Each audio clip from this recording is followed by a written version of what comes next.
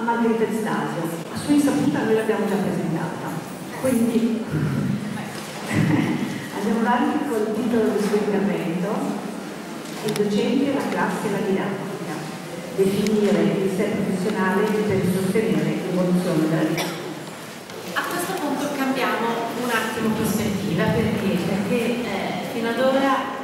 il, il fuoco dell'attenzione, il centro dell'attenzione sono stati gli studenti. Eh, scusatemi, sì, mi trovo meglio così, avete pazienza. Ora proviamo un attimo a cambiare. Eh, abbiamo parlato, sentito parlare finora di eh, relazione, la relazione è fatta da più nodi, ci spostiamo sul nodo dei docenti.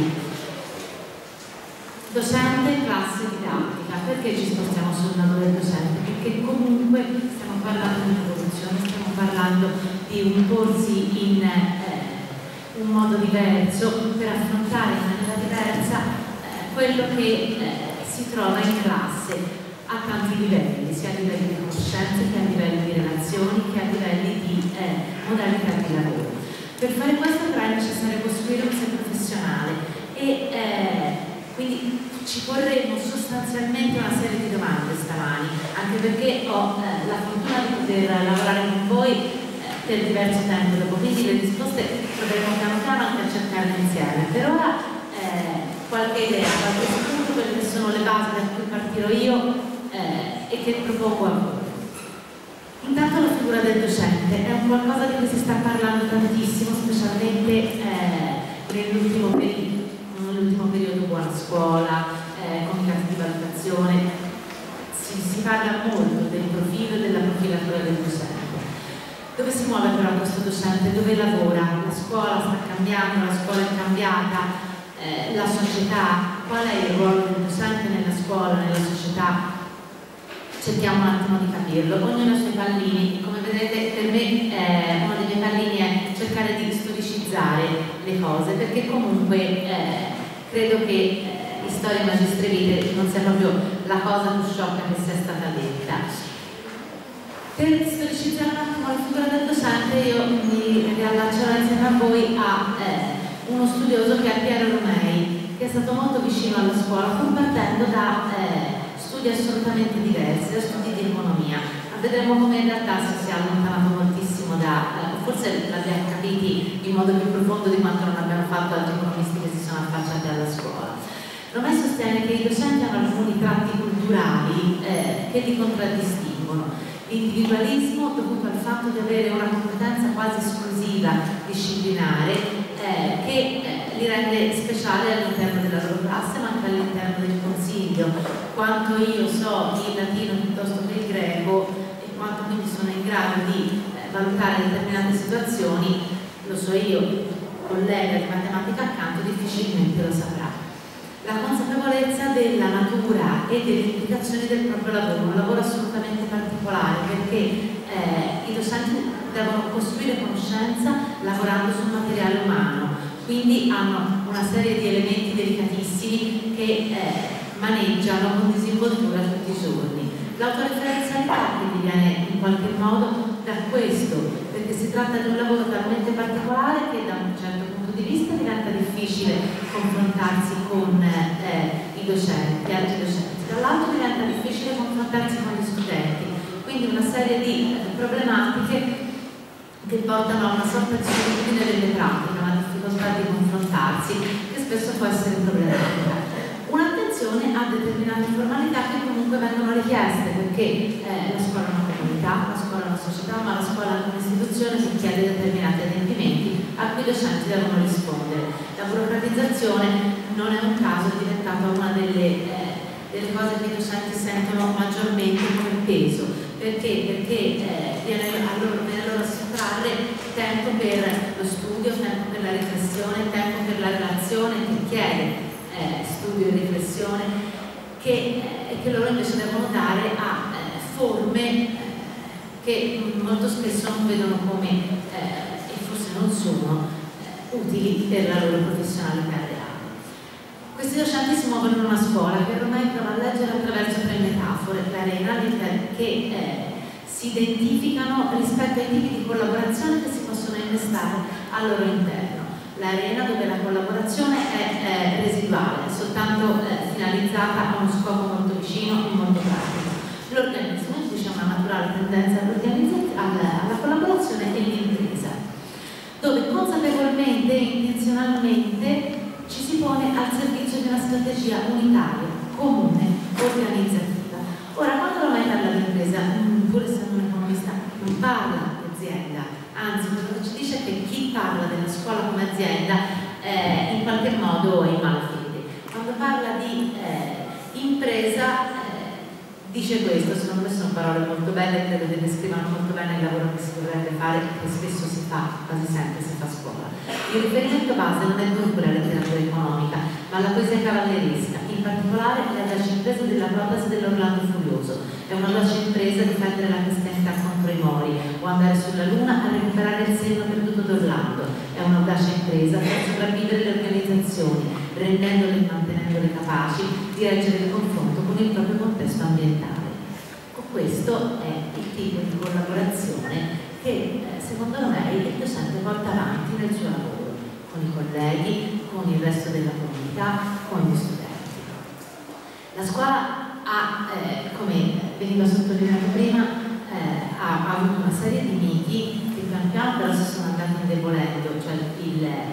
eh, valore del titolo di studio e la libertà di insegnamento, anche se vedremo che questo forse è il più convinto che si è andato indebolendo un diritto che si deve andare via via ricostituendo in una, una, modalità di lavoro. A cui sono stati contrapposti eh, tutta una serie di elementi aziendalistici, aziendalistici eh, con un senso per l'amor di Dio, efficacia, efficienza, funzionalità, qualità, ma sono tutti elementi che mh, se di nuovo li storicizziamo e li contestualizziamo nascono per organizzazioni che sono imprese, eh, che vanno a recuperare il senno di Orlando, nascono per gli studi di Jurand, Deming,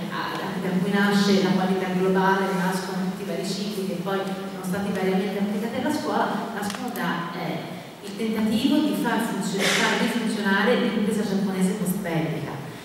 Quindi forse eh, vanno, possono essere utilizzati ma vanno riletti e vanno portati a scuola con la razza che solo la scuola porta a loro. Per far questo eh, Romei chiama la concettualità collegiale che si apre fra i docenti e che va a costituire un sistema di coerenze che valorizza l'agire del docente fatto di scienza e coscienza. Questa è una cosa che una definizione che trovo bellissima, perché difficilmente si troverà un lavoro in cui si richieda così, si richiedano così tanto entrambi questi elementi. Quindi vediamo chi è il docente. Una carta d'identità del docente, molto bella di nuovo, era già stata tracciata all'interno del eh, DPR del 775, l'autonomia, la famosa autonomia. Perché? Perché eh, si andava già disegnando un docente ricercatore che è l'autonomia didattica, autonomia organizzativa, autonomia di ricerca, sperimentazione e sviluppo. Se è stato detto da molte parti, sicuramente è vero che in realtà si è trattato di un'autonomia mutilata, però questa carta d'identità del docente è un qualcosa che forse vale la pena continuare a tenere presente per vedere come a partire da questa si possa lavorare. Dal 99 forse ancora eh, si tratta di tutti elementi validi. Circa che abbiamo nella eh, normativa che abbiamo nella letteratura, perché? Perché parla di un insegnante ricercatore che analizza la propria pratica, che pone domande, riflette e agisce nell'azione perché comunque il tempo della scuola, il tempo dell'azione del docente è molto particolare, è contestuale, si agisce, si riflette, si reagisce molto spesso in una frazione di secondo, a volte invece è necessario farlo nell'arco di 3-5 anni, quindi ecco anche la temporalità ha un valore particolare. Schoen ci parla del, ormai notissimo professionista riflessivo che ritorna costantemente sulla propria azione per comprenderne il sé, per comprenderne il senso, per capire come questa azione si è svolta, cosa ha funzionato, cosa non ha funzionato, come può essere migliorata. Qui in qualche modo ritroviamo anche gli elementi della qualità, il ciclo del miglioramento, che può essere appunto applicato alla personalità docente, anche se con le eh, appunto, cautele che lo distaccano dal contesto aziendalistico. Eh, Vera ci parla dell'insegnante come riflessivo orientato a bisogni e eh, istanze dei suoi alunni che collabora e discute con loro. Ecco, questo è un insegnante che ha tutta una serie di competenze legate alla vita della classe, legate al rapporto con gli alunni e con le loro peculiarità come persone, come contesto, come legate alle materie insegnate, perché di nuovo la disciplinarità ha eh, un valore specialmente eh, nel secondo ciclo eh, fondante, rispetto alla società e rispetto a se stesso, perché appunto la completa eh, la competenza completa risulterà dimostrata dall'interrogarsi continuo quotidiano dell'insegnante sulla capacità di prendere decisioni illuminate a seguito degli avvenimenti della giornata. Quello che dicevamo appunto un lavoro fatto di scienza e coscienza. Questo perché l'insegnante deve avere tutte queste eh, competenze, tutte queste capacità, deve essere un professionista così completo come difficilmente si chiede ad altri perché è un compito particolare, il suo compito è quello di educare, educare in senso etimologico, eh, al di là appunto dei limiti della qualità globale, eh, con un ruolo proiettivo che deve avere la scuola. Eh, non eh, è chiamata, una scuola viene chiamata l'insegnante non lei, un atteggiamento proattivo, non di soddisfazione di desiderata del cliente, che cosa chiedono gli studenti, che cosa chiedono le famiglie, ma di guida che struttura le esigenze dei suoi interlocutori e eh, li mette in grado di acquisire coscienza delle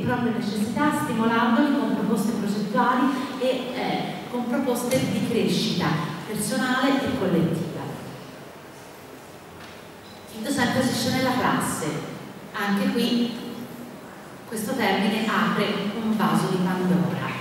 Cosa vuol dire classe? Cosa vuol dire oggi classe? già setting è uno dei termini in cui ho provato a scomporlo, ma eh, già questo termine viene utilizzato in tanti sensi. Che estensione ha oggi la classe? Quali sono le relazioni che eh, si vanno a innescare? La classe è fatta di soggetti, appunto di un setting, di un ambiente, ma eh, di nuovo tutti questi sono elementi eh, multidimensionali, multifocali che devono essere visti in maniera eh, multiprospettica, non altri molti ve lo condivido fatta di relazioni, i soggetti che partecipano nella classe sono fatti di relazioni tra di loro, la relazione docente-studenti, la relazione eh, studenti-studenti, uno a molti, la relazione docente-classe, non soltanto docente-singolo. Queste sono le relazioni interne alla classe, ma poi ci sono anche relazioni esterne, perché la classe è un elemento di una eh, situazione scuola, all'interno della quale avrà un proprio ruolo, di una situazione società, ogni scuola un... Eh, si relaziona con un'utenza, con un contesto particolare. Tutto questo va eh, a incrociarsi anche con le esperienze, ci sono esperienze comuni della classe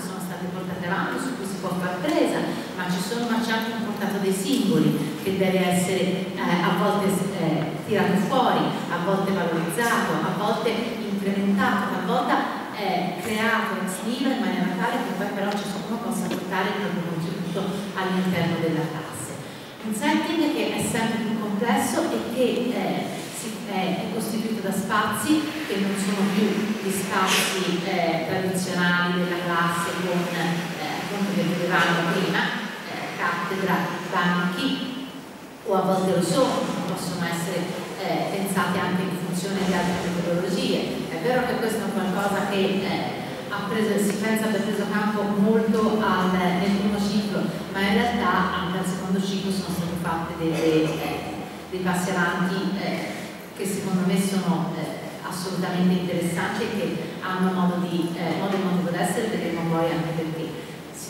Abbiamo tutto un setting tecnologico che sia che ci sia, sia che non ci sia, va comunque a influenzare il modo di eh, agire del docente, il modo di fare didattica. Se c'è perché richiede ulteriori competenze, perché è importante riuscire a utilizzarlo in maniera costruttiva, strumentale e eh, non far sì che la finalità siano le tecnologie, se non c'è perché comunque eh, questo può creare problemi relazionali con i genitori, con eh, l'utenza, perché comunque c'è tutto un discorso di education legato sia alle tecnologie sia al loro uso eh, per la specificità disciplinare che eh, chiede una riflessione, una competenza ulteriore. L'ambiente classe è un ambiente sempre più ampio e d'altra parte sempre più stretto, perché comunque c'è la classe all'interno della scuola, c'è un territorio con, con il quale bisogna interfacciarsi, eh, l'alternanza scuola-lavoro uno degli elementi, eh, ma poi si va anche oltre a questo, perché si possono costruire reti di scuole, reti di esperienze, in mente ad esempio nell'organizzazione di primi di gemellaggi elettronici, eh, perché so che oggi c'è anche questa c'è il meeting in un'altra scuola sempre organizzata dall'USR, c'è la rete che comunque è un mare mare all'interno del quale è necessario, si possono trovare tante cose, ma è necessario eh, guidare chi abbiamo davanti a trovarle. E poi c'è la didattica. Che cos'è? Perché si, fa, si parla di eh, didattica in tanti modi, ma riflettiamoci, un'attività è l'attività didattica, è l'azione didattica, è un processo, sono prassi. Anche qui proviamo a vederla in un'ottica eh, di eh, storicizzazione della letteratura del, eh, del, del, periodo più recente, perché comunque se ne è parlato molto e eh, con elementi che ci possono essere utili. Si passa da un sapere sapiente nella trasposizione, cioè un, eh, un elemento disciplinare che, si, che deve essere insegnato, a un che è considerato eh, utili, quindi eh, viene inserito nel programma, dopodiché il contenuto deve subire un insieme, questo contenuto deve subire un insieme di trasformazioni che lo rendono adatto ad essere eh, presentato, proposto alla eh, classe per diventare un oggetto di insegnamento. C'è però qui un, eh, ci sono vari elementi, diciamo, ci sono elementi di soggettività e eh, elementi di società, perché esiste nella trasposizione in azione cioè sia mediazione dell'insegnante che trasponde questo contenuto, sia il modo in cui viene eh, recepito dagli alunni, con due dimensioni, una dimensione didattica e una dimensione di assiologizzazione. Quindi eh, una dimensione più puramente didattica, una dimensione più valoriale, in cui eh, viene operata una scelta eh, nella, nel fatto che vengono operate una serie di azioni nella logica che viene scelta per la presentazione dei contenuti, eh, i materiali che vengono proposti, i compiti, le consegne, i criteri di valutazione, questo fa parte della didattizzazione, ma poi c'è tutta la parte anche di assiologizzazione, cioè il rapporto dell'alunno con il sapere, con qual è il valore di quello che stiamo presentando. Come tutto questo va a impattare nel rapporto che l'alunno ha tra loro, con gli insegnanti, con la società. Una delle, una delle proposte che è stata fatta eh, tutta italiana eh, è quella italiana appunto le, che confronta trasposizione e mediazione. Quindi se eh, insegnare significa trasmettere conoscenze, il sapere è il contenuto deve essere comunicato e non trasposto. Quindi eh, quello che eh, si passa da un concetto di trasposizione, eh, etimologicamente inteso, a un, di, a un concetto di mediazione, in cui eh, appunto il docente cambia per davvero eh, il suo ruolo e diventa un ponte fra quello che si deve trasmettere, così come quando si è preso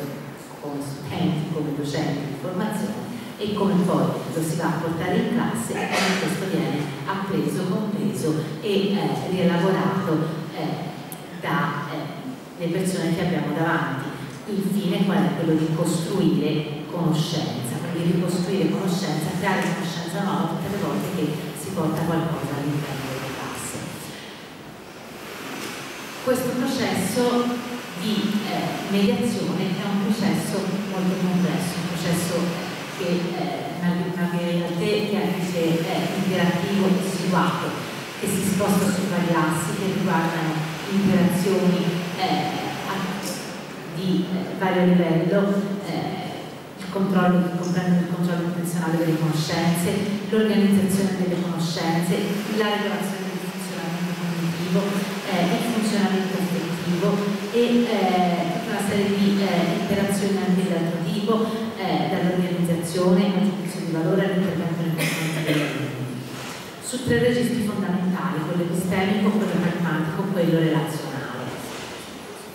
Tutto questo si applica alle eh, situazioni di apprendimento. Eh, scelto questa definizione di situazione di apprendimento eh, in Archive eh, come unità base delle pratiche di insegnamento. Eh, proviamo a porci appunto in unità minima la situazione, che abbraccia una serie di fenomeni che sono sia didattici che non didattici e che entrano in gioco nella, eh, in questo passaggio di conoscenze, mm, in questa ricostruzione di conoscenze andando a impattare soprattutto su un elemento eh, molto importante, il clima. Il clima non soltanto inteso come eh, modalità di serenità a scuola, stare bene a scuola, ma come modalità della relazione che si può trovare. Se quello che si deve fare è andare a costruire conoscenze insieme, allora sì, ci può essere qualcuno che si fa eh, portatore, che si fa guida, eh, che si fa eh, coach di nuovo in senso etimologico, ma appunto ci sarà una classe che è eh, abilitata a lavorare su questi temi in, in, determinati modi, che dare un contributo che porterà a non una, eh, un apprendimento, ma una ricostruzione proprio di conoscenze eh, in, un, eh, in, un, in, un, senso molto più cristiano in cui eh, tutto quello che si conosce viene costruito dalla comunità. Come eh, si propone di fare tutto questo in genere. Ultimamente si sente molto parlare di didattica attiva, di scuola attiva, anche se eh, questo ultimamente, come vedremo nei lavori di oggi pomeriggio, ha appena 101 anni, quindi è eh, un, un, nuovo che forse così nuovo non è, però che eh, ha ancora molto da dire che ha, ha bisogno, continua, aveva bisogno e continua ad avere bisogno di essere riflettuto, cioè è l'attivismo pedagogico di Dewey eh, che contiene in sé moltissimi elementi che eh, tutt'oggi vengono eh, proposti e portati come eh, grande novità. Grande novità, appunto, avendo 101 anni, forse non sono, ma sono sicuramente elementi che possono eh, essere, che erano validi allora e che se eh, letti in una prospettiva storicizzata e contestualizzata hanno tuttora un loro valore metodologico molto forte che può essere applicato eh, utilmente. La centralità del, eh, dello studente, l'importanza della psicologia, del guardare alla psicologia e quello che è in grado di dirci nella sua evoluzione, il cambiamento del ruolo dell'insegnante che si pone come guida e non si pone più come dispensatore eh, a, eh, di, di conoscenze già apprese, già date, che non devono più essere costruite, che devono semplicemente essere eh, cercate. Il legame con gli interessi e i bisogni di chi si ha davanti, si parla tanto di eh, didattica situata e, eh, e, il legame con eh, dell'insegnamento con eh, la vita, con quello che eh, si va a fare, si va a costruire. L'intelligenza operativa come elemento che deve essere tenuto in, considerazione nella costruzione di questo.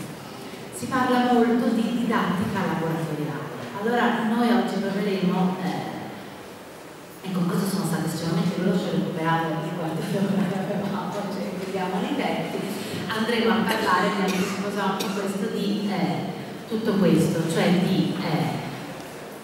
didattica attiva, di metodologie della didattica attiva, di eh, laboratorio di didattica laboratoriale. Perché? Perché si tratta di tematiche che eh, non sono nuove e eh, tutte le volte che si parla di eh, rinnovare, di eh, cambiare, si va a parlare di questo. Perché? Perché forse sono eh, non tanto delle un qualcosa di dato di nuovo, ma qualcosa che può essere ricostruito sulla base della propria realtà, sulla base eh, di, quel, di, quella professionalità fatta di scienza e coscienza che ognuno ha in aula e che ognuno porta nella propria scuola e nella propria. Due definizioni intanto di laboratorio, molto recenti, faremo un, eh, un lavoro a review, partiamo da eh, definizioni più recenti poi andremo via via invece a problematizzare quelle che sono le origini di questi concetti. Il laboratorio come percorso formativo è stato definito appunto in un testo recente come il laboratorio, il laboratorio è un ambiente nel quale è possibile seguire un itinerario complesso attraverso una didattica flessibile e partecipata. Altra definizione, laboratorio come officina di metodo euristico dove si allenano l'intelligenza e la fantasia con l'obiettivo di scoprire il doppio prestigioso traguardo brillano dell'imparare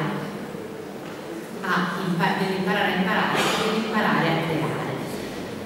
Oggi proveremo a eh, vedere come e se è possibile dare una definizione di applicativi di didattica laboratoriale al di là del, eh, del, così, eh, della slide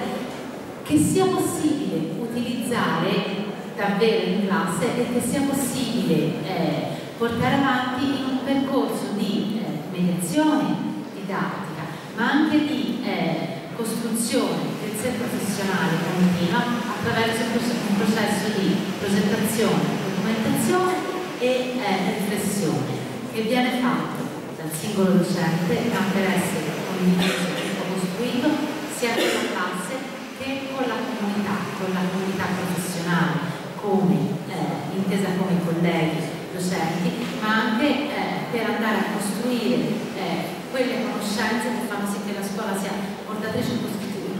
e eh, architetto costruttore di valori all'interno di una comunità. E con questo ne parleremo, ci lavoreremo insieme.